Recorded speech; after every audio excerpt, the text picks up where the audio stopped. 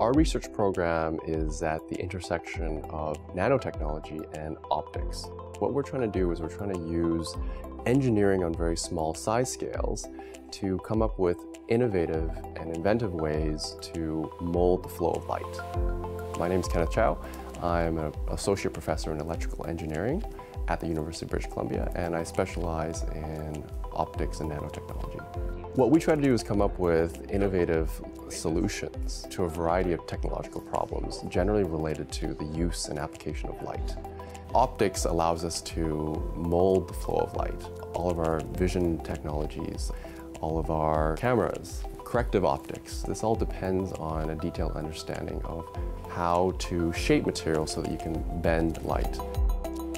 I do think society is becoming increasingly visual. More and more information is being displayed on screens as opposed to text.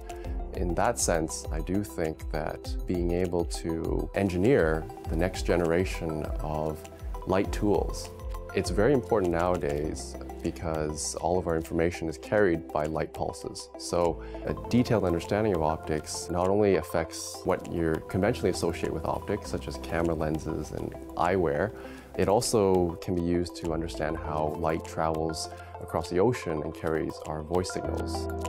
Nanotechnology is the study of materials on nanoscale, so billionth of a meter.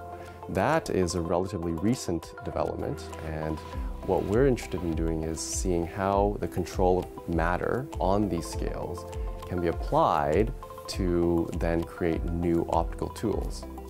And I have several students working on developing different coating technologies for windows. I have students who are building optical sensors to detect when wax deposits from pipelines. I also have students who are building portable microscopes that work on your smartphone. All of these are tied together by clever and innovative uses of light and light-based technologies.